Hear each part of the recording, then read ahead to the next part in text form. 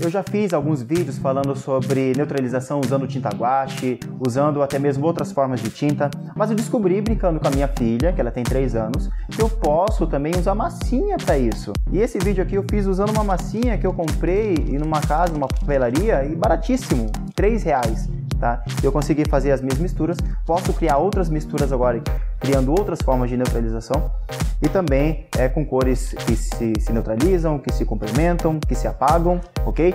Faça você também o seu teste, tá? Para que você esteja apto e perfeito para lidar com a sua cliente.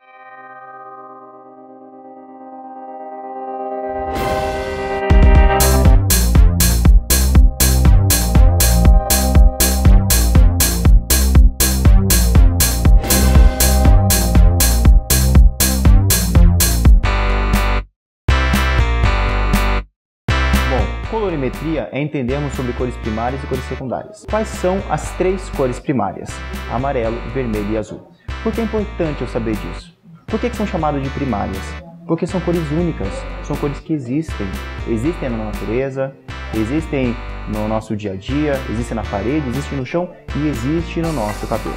As cores primárias, elas são encontradas no nosso organismo, no nosso cabelo, como uma melanina natural denominada de eumelanina eumelanina e tricocederina. Então, o azul é a eumelanina, o amarelo é a feumelanina e o vermelho é a tricocederina. Bem, mas nós precisamos entender então que essas cores, uma vez que elas são achadas no cabelo, nós devemos levar em conta isso. Porque a cor que a cliente ela quer não é a cor que nós aplicamos. Porque a cor que ela escolhe na cartela de cores, se nós aplicarmos essa cor, isso vai se misturar com a cor que já existe no cabelo dela. Porque no cabelo da cliente existe cor quando é uma cor natural, existe cor quando é um resíduo de cor natural, porque é um fundo de clareamento que está em amostra, ou ele está vermelho, ou ele está laranja, ou ele está amarelo, ou existe uma cor cosmética que faz parte do cabelo da cliente. Não estamos falando de brancos agora, mas cor em três momentos, em que existe cor natural, existe resíduo da cor natural, que é o fundo de clareamento, e existe uma coloração, que é uma cor cosmética no cabelo. Bem, então se nós entendermos que no cabelo existem as três cores primárias, então faz sentido eu entender a estrela, porque eu preciso saber que essas cores, ao se juntar, criam cores secundárias e criam cores complementares. Notem agora.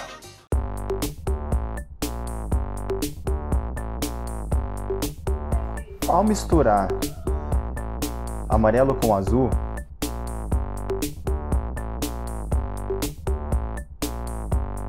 criamos um verde. Então se o cabelo ele está amarelo, está loiro e ela foi na piscina que contém cloro e que o pigmento que contém ali é azul, amarelo com azul, conforme nós vimos aqui, dá verde.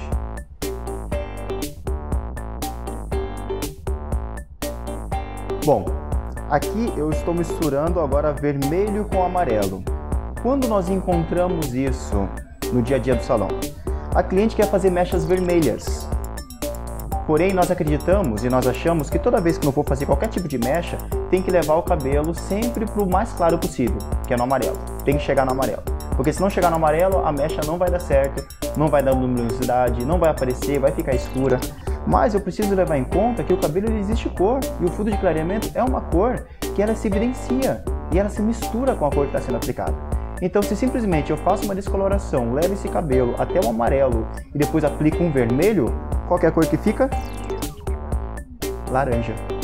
Porque amarelo com vermelho é laranja. Olha o erro.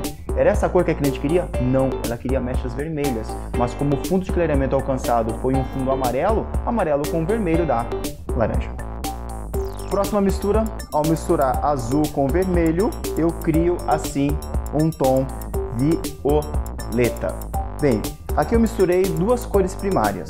Então, ao misturar cores primárias, eu crio uma nova cor, que é uma cor secundária. Mas aí eu posso criar cores complementares, que são variáveis depois de vermelho, variáveis de amarelo, variáveis de, de azul. Por exemplo, ao invés de ter um vermelho, eu tenho depois um vermelho laranja, que não é exatamente a mistura do vermelho com amarelo em partes iguais, mas é mais vermelho do que amarelo eu crio vermelho laranja, eu crio o tom que nós conhecemos como acaju, ele tem mais vermelho do que azul na mistura. Então eu vou conseguindo achar os reflexos que nós achamos e temos na cartela de cores. Veja que aqui eu criei na mistura do azul com o vermelho o violeta. Por que é importante eu saber disso? Porque nós precisamos saber se o cabelo ele está com qualquer uma dessas cores, como que nós podemos apagar essa cor, criar uma neutralização. O que é uma neutralização? É toda, todas as vezes em que eu misturo as três cores primárias. Eu tenho que misturar amarelo, vermelho e azul, senão eu não crio uma neutralização. É quando eu apago a cor. Não aparece amarelo, não aparece vermelho e não aparece azul. Simplesmente as cores elas se apagam e criam um tom que na colorimetria capilar nós chamamos de marrom de um tom neutro. A cliente chegou no fundo de clareamento laranja, amarelo laranja, o amarelo eu tenho que levar para o marrom então para criar uma neutralização? Não o marrom conforme nós conhecemos, o 67 ou um 77, que o marrom ele é representado como ponto, barra ou vírgula 7 né, na cartela de cores conforme nós conhecemos. Mas não é esse marrom. Quer dizer que se o nosso cabelo ele tem as três cores primárias, lembra-se, amarelo, vermelho e azul, em porcentagens diferentes, quer dizer que o cabelo ele é preto, ele tem uma concentração maior de azul, menos de vermelho e menos de amarelo. Se o cabelo ele é castanho, uma concentração maior de vermelho, menos de azul e menos de amarelo. E se o cabelo ele é loiro, tem uma concentração maior de amarelo, que é a feomelanina, uma concentração menor de vermelho, que é a tricosiderina, e uma concentração menor ainda de azul, que é a eumelanina. Então, se o cabelo preto, castanho ou loiro tem os três pigmentos né, das cores primárias em porcentagens diferentes, quer dizer que o cabelo ele é marrom. Então é esse tom de marrom que nós chegamos numa neutralização, que é levar pro natural. O cabelo natural, ele é marrom, não importa se é preto, se é castanho ou se é loiro. Por quê? Porque ele tem os três pigmentos. E toda vez que nós juntamos os três pigmentos, as três cores primárias, vermelho, amarelo e azul, nós levamos pro marrom. Então o cabelo ele está laranja. Como você pode resolver o fundo de clareamento laranja? É o que eu vou mostrar para você agora.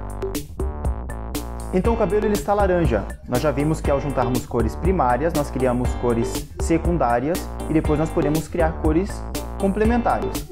Tá, mas para eu criar uma neutralização, eu preciso juntar as três cores primárias. Então aqui eu tenho já uma cor laranja eu tenho que usar um raciocínio lógico.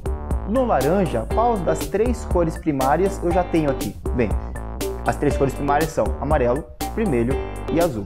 Então, para criar uma laranja, eu crio com amarelo e vermelho. Então, quer dizer que das três cores, que são apenas três das primárias, eu já tenho duas aqui como um problema, que é o cabelo. Está laranja. Qual é a cor que falta para resolver, então, o laranja do cabelo? O azul. Então, eu misturo azul junto com a minha mistura na cumbuca, levando em conta o fundo de clareamento. No laranja eu estou numa altura de 7, eu posso estar também numa altura de 8, que é amarelo laranja. Se existe laranja no cabelo, eu tenho que usar azul, porque se eu não usar azul, eu não crio uma neutralização, que é o que? Apagar todo o laranja que existe no cabelo. E toda vez que eu faço essa neutralização, eu levo o cabelo pro marrom, e nós já entendemos que levar para o marrom é levar para o natural. Então imagine que se esse cabelo ele está numa altura de 7 como fundo de clareamento, ele está, se a gente for evidenciar isso em números, que a gente fala de cor e pensa em números, né? Então digamos que ele estaria num 7.4, porque a gente pode representar esse laranja como se fosse um cobre. Se ele tivesse uma altura de 8 do fundo de clareamento, eu posso representar como um 8.34, concordam? Porque ele está amarelo, laranja. Então digamos que ele esteja numa altura de 7, está laranja, eu tenho que colocar um 7 ponto barra ou vírgula azul, que é o que eu fiz na mistura aqui e levo pro marrom. Criei uma neutralização. Se você não misturar as três cores primárias, você nunca vai conseguir apagar a cor indesejada.